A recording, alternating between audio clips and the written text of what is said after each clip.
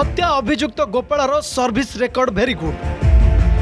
କୋଡ଼ିଏ ବର୍ଷରେ ନଅ ଆର୍ଥିକ ପୁରସ୍କାର ଅଠର ପ୍ରଶଂସାପତ୍ର। ଏପଟେ ତାକୁ ପାଗଳ ସଜେଇବାକୁ ଚାଲିଛି କି ବଡ଼ ଷଡ଼ଯନ୍ତ୍ର? ପ୍ରଶ୍ନ ଘେରରେ ପାଇଖାନା ଟାଙ୍କିରୁ କାଗଜ ଟୁକୁଡ଼ା ଏଫବିଆଇ କୋର୍ଟ ମନିଟରଡ ତଦାରଖ। କ୍ରାଇମବ୍ରାଞ୍ଚର ଖରାପ ଟ୍ରାକ୍ ରେକର୍ଡ ଆସିଲା ସାମ୍ନାକୁ। ଶହେ ଅଣାନବେ ମାମଲାରୁ ଏବେ ବି ତେସ୍ତରୀ ମାମଲାର ଚାଲିଛି ତଦନ୍ତ।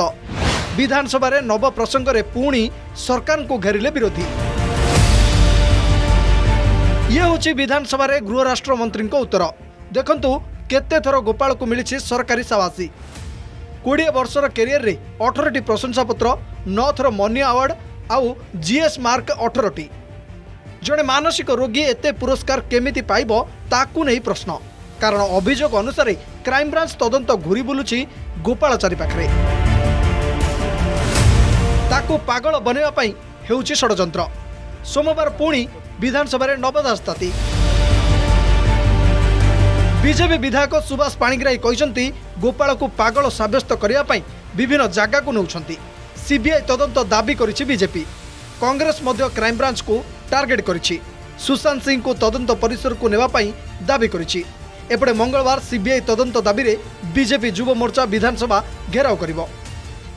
ଓଡ଼ିଶାର କ୍ରାଇମବ୍ରାଞ୍ଚ ଗୋଟେ ଲୋକକୁ ଧରିକିରି ଚଲେଇଛି। ମାନେ ଆଜି ଗୋପାଳ ଦାସ କେମିତି ଭାବରେ ମାନେ ତାର ମୁଣ୍ଡଟା ମସ୍ତିଷ୍କ ଖରାପ ହେଲେ ଏଇଟା ଏ, ସେ ମ- ହତ୍ୟା କରିଦେଲା ଏଇଭଳିଆ କରିଦେଲା ଏଇଟା ଷଡ଼ଯନ୍ତ୍ର କରିକି ମାରି ଦିଆହେଇଛି।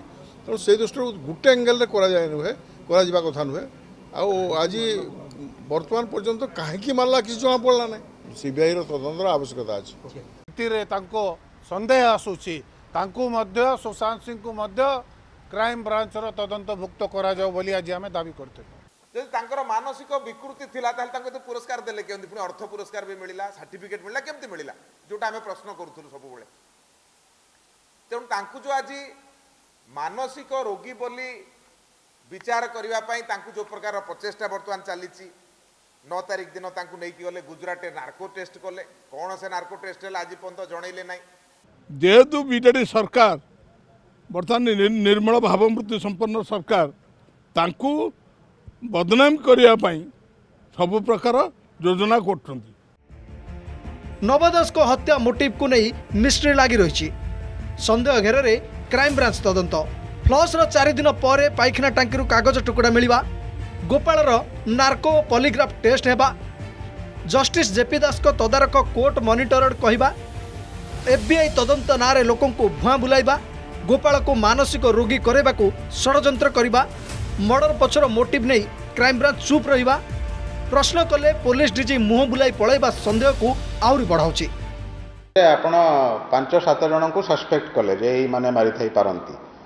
ସେଇ ଭିତରୁ ସେଇ ପର୍ଟିକୁଲାର କ୍ରାଇମ୍ର ବିହେଭିଅରରେ କିଏ ଫିଟ୍ କରୁଛି ସେଇଟାକୁ ସେମାନେ ସେଇଥିରେ ସହାୟ ସହାୟକ ହୁଅନ୍ତି ତାଙ୍କର ବିହେଭିଅର ଆସେସମେଣ୍ଟ କରିକିରି। କିନ୍ତୁ ଏଇ କ୍ଷେତ୍ରରେ ତ ଆପଣ ଗୋଟେ ଲୋକକୁ ପାଇସାରିଛନ୍ତି ଯେ ମାରିଛି ତେଣୁ ତାର ବିହେଭିଅର କ'ଣ ଷ୍ଟଡି କରିବେ? ହାଇକୋର୍ଟ ଏକ ତଦାରଖ କମିଟି ବସେଇଛନ୍ତି।